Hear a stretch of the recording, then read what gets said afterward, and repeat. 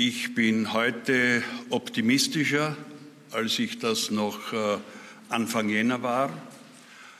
Das hat damit zu tun, dass ich den Eindruck habe, dass die vorsichtige Öffnung, die wir vor einer Woche bekannt gegeben haben, auf fruchtbaren Boden gefallen ist, dass sich äh, die Menschen bewusst sind, dass wir einen wichtigen Schritt in die Normalität des Lebens gesetzt haben, dass damit auch Zuversicht eingekehrt ist ins Land, dass wir aber auch vorsichtig bleiben müssen.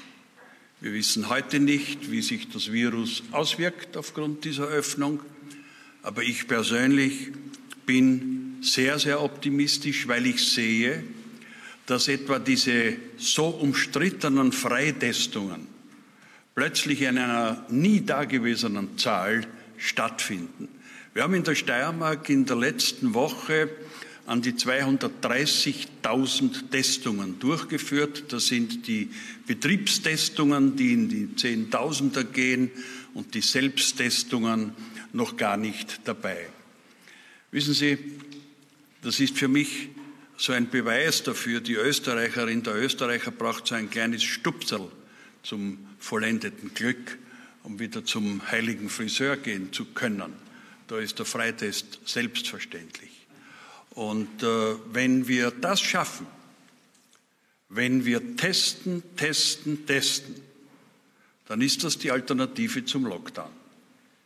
Daran müssen wir uns halten, daran werden wir uns halten, weil es meines Erachtens dazu außer den Lockdown keine Alternative gibt und das ist keine Alternative.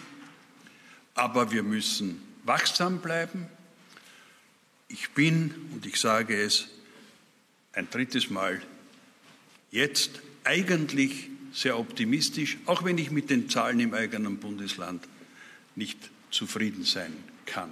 Aber testen ist das Gebot der Stunde, dann werden wir diese Krise vielleicht schneller überwinden, als wir glauben. Dann werden wir das, was wir alle ersehnen, aber nicht versprechen können, nämlich im Bereich der Kultur, im Bereich des Sports, im Bereich der Gastronomie einen Schritt zu wagen, früher zustande bringen, als wir es erahnen. Aber wir wissen es nicht.